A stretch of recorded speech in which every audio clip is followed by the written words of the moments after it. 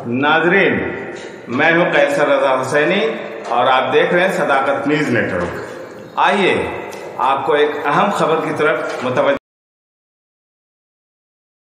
मध्य प्रदेश का उज्जैन 12 साल की एक लड़की के शरीर से खून बह रहा है। अर्धनग्न हालत में वो एक कॉलोनी के बाहर खड़े होकर रोते हुए मदद मांगती है। सामने एक शख्स खड़ा है। तिरुपति ड्रीम्स कॉलोनी के पास मौजूद वो शख्स लड़की की मदद नहीं करता। आंसुओं से गीले चेहरे के साथ लड़खड़ाते हुए लड़की आगे बढ़ जाती है। तकरीबन तीन घंटे में वो आठ किलोमीटर की दूरी तय करती है। ज़ाहिर है इस बीच उसे कई लोग मिले होंगे, लेकिन किसी ने उस बच्ची की मदद नहीं की। आखिरकार लड़की दांडी आश्रम के सामने से गुजरती है। वहाँ मौजूद पुजारी बच्ची की हालत को देखकर उसकी मदद करते हैं। फिर पुलिस को सूचना भी देते हैं। पुलिस लड़की को जिला अस्पताल लेकर जाती है। वहाँ हालत बिगड़ने पर उसे इंदौर रेफर कर दिया जाता है। यहाँ डॉक्टर्स बताते हैं कि लड़की के साथ रेप हुआ है। लड़की का इलाज शुरू हुआ। डॉक्टर्स का कहना है कि बच्ची अब खतरे से बाहर है। इस पूरी घटना का मंगलवार को एक सीसीटीवी फुटेज सामने आया। इस फुटेज ने हर किसी को झकझोर कर रख दिया।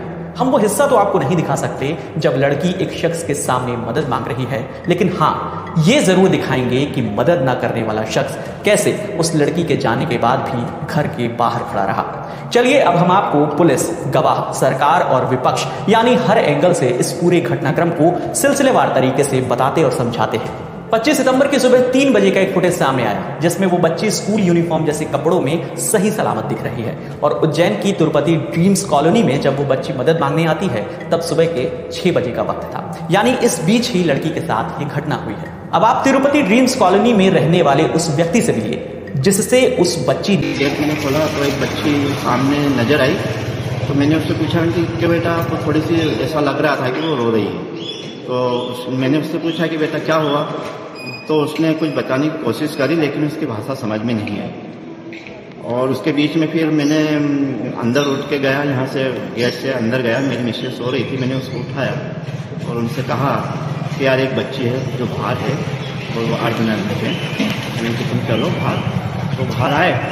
बाहर आने के बाद में जब देखा, मैंने उनको उठाया और बाहर से, अंदर से बाहर आए, जब तक वो यहाँ से आगे निकल चुकी थी। हालाँकि ये जनाब जो अंदर जाकर अपनी वाइफ को जगाने की कहानी सुना रहे हैं, वो कितनी सच्ची है, वो आप खुद सीसीटीवी फुटेज में देख सकते हैं। लड़की के जाने तक वो शख्स अपने घर के दरवाजे पर ही खड़ा रहता है।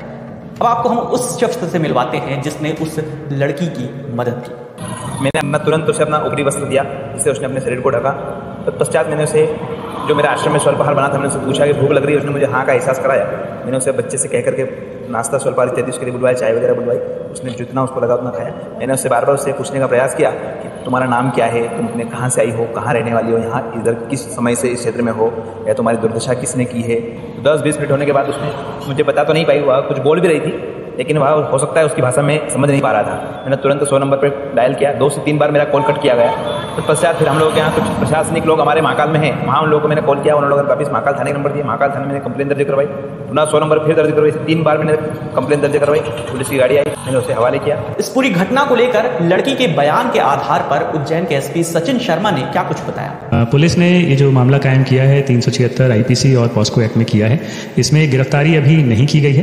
पर बच्ची जब से उज्जैन आई है, वो जिन जिन के संपर्क में रही है, खासकर छः घंटा जो उसका उज्जैन का समय है, घटना से पहले का, उन सभी से पुलिस पूछताछ कर रही है। एक ऑटो रिक्शा वाला था जिसको पहले फुटेज में देखा गया, फिर उसको आइडेंटिफाई किया गया।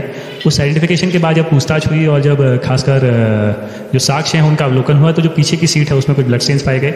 और उससे जब पूछताछ हुई, उसने बताया कि वो जो विक्टिम है, उसके साथ कितनी देर तक था क्या क्या बात हुई कैसे कैसे हुआ उसके अलावा उससे पहले भी जिस जिससे उसकी बातचीत बच्ची की हुई है, उन सबको भी पुलिस ने अभी पूछताछ के लिए लिया है। सभी विवेचना में जितने भी लोग हैं, वो सब शामिल हैं और जल्दी इसमें खुलासा किया जाएगा। अभी की जो जानकारी प्राप्त हुई है एक एफआईआर सतना ज़िले में तीन की हुई थी जिसका जो हुलिया है और जो माता पिता का नाम है वो सेम पाया गया था। सतना पुलिस से कोऑपरेशन और कोऑर्डिनेशन किया गया है और इसमें ये सत्यापित हो गया कि वो सतना ज़िले रहने वाली है। क्योंकि मध्य प्रदेश में अगले कुछ महीनों में विधानसभा चुनाव होने हैं। ऐसे में इस मामले पर कांग्रेस ने बीजेपी को निशाने पर लिया है। कांग्रेस सांसद राहुल गांधी, प्रियंका गांधी से लेकर प्रदेश के पूर्व मुख्यमंत्री कमलनाथ ने ट्वीट करके मध्य प्रदेश की कानून व्यवस्था और महिला सुरक्षा पर सवाल उठाए हैं। कांग्रेस सांसद राहुल गांधी ने लिखा, महिलाओं के खिलाफ अपराध और नाबालिग बच्चियों के खिलाफ हुए दुष्कर्म की संख्या सबसे ज़्यादा मध्य प्रदेश में है। इसके गुनहगार वो अपराधी तो हैं ही जिन्होंने ये गुनाह किए। साथ ही प्रदेश की भाजपा सरकार भी है, जो बेटियों की रक्षा करने में अक्षम है। न न्याय है, न कानून व्यवस्था और न अधिकार। आज मध्य प्रदेश की बेटियों की स्थिति से पूरा देश शर्मसार है। मगर प्रदेश के मुख्यमंत्री और देश के प्रधानमंत्री में बिल्कुल भी शर्म नहीं है। चुनावी भाषण, खोखले वादों और झूठे नारों के बीच बेटियों की चीख उन्होंने दबा दी प्रियंका गांधी ने सवाल किया कि क्या यही है मध्य प्रदेश की कानून व्यवस्था और महिला सुरक्षा? भाजपा के 20 साल के कुशासन तंत्र में बच्चियाँ, महिलाएँ, आदिवासी, दलित, कोई भी सुरक्षित नहीं है। लाडली बहना के नाम पर चुनावी घोषणा करने का क्या फ़ायदा है अगर बच्चियों को सुरक्षा और मदद तक नहीं मिल सकती? वहीं मध्य प्रदेश कांग्रेस के अध्यक्ष और पूर्व मुख्यमंत्री कमलनाथ ने सवाल किया कि जिस बेटी के साथ ये दरिंदगी हुई है, क्या वो लाडली लक्ष्मी और लाडली बहना नहीं है? उन्होंने मुख्यमंत्री से अपराधियों को सख्त से सख्त सजा देने और पीड़िता का समुचित उपचार कराने के साथ साथ एक करोड़ रुपए की आर्थिक सहायता देने की भी मांग की है। वहीं प्रदेश के गृह मंत्री नरोत्तम मिश्रा ने पीड़िता की हालत की अपडेट देते हुए कांग्रेस को ही आड़े हाथों लिया है। उज्जैन की प्रतीत नहीं हो रही है वो बच्ची। बच्ची बाहर की प्रतीत हो रही है। चूँकि वो ठीक तरह से बता नहीं पा रही है अभी। इसलिए काउंसलर लगाए गए हैं, चाइल्ड स्पेशलिस्ट लगा, लगाए गए हैं कि वो ठीक तरह से जवाब दे दें। बाकी आप कांग्रेस से सर्टिफिकेट की ज़रूरत होगी क्या आपको? बागेश्वर धाम के पीठाधीश्वर पंडित धीरेन्द्र कृष्ण शास्त्री ने इस घटना को भारत माता पर आघात बताया है। इनके ऊपर घोर कड़ी कार्रवाई होनी चाहिए। इनको जीने का अधिकार नहीं है। जो इस प्रकार के अमानवीय कृत्य कर रहे हैं उन्हें जीने का अधिकार नहीं है। और इस बच्चियों के ऊपर इस प्रकार का कृत्य करने से निश्चित रूप से हमारी भारत माता को आघात पहुँच रहा है। इसलिए सरकार को प्रशासन को मजबूती के साथ कार्रवाई इस पूरे मामले पर राष्ट्रीय बाल अधिकार संरक्षण आयोग के अध्यक्ष प्रियंका कानूनगो ने एमपी पुलिस को नोटिस जारी करके जवाब मांगने की बात कही है। कि हमने पुलिस अधीक्षक को वहाँ पे एक नोटिस इशू किया है, हमने उसके बच्चे के स्टेटमेंट की कॉपी मांगी है, एफआईआर की कॉपी मांगी है, और बच्चे की वेलबींग इंश्योर करने के लिए जो जो चीज़ें आवश्यक हैं, पॉक्सो एक्ट के प्रोविजंस के अकॉर्डिंग, उन सबका पालन करने के लिए हमने लिखा है।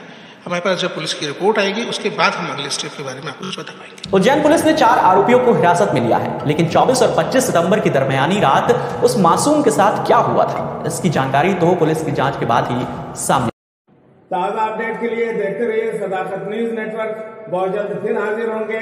कुछ खास खबर के साथ तब तक हमें इजाज़त दीजिए अपना और अपनों का ख्याल रखिए।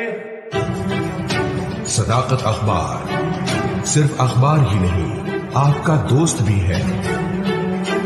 इसे पढ़िए और दोस्तों को भी पढ़वाइए। ताज़ा अपडेट के लिए देखते रहिए। Sadaqat news network. हमारे चैनल को लाइक कीजिए, सब्सक्राइब कीजिए और शेयर कीजिए।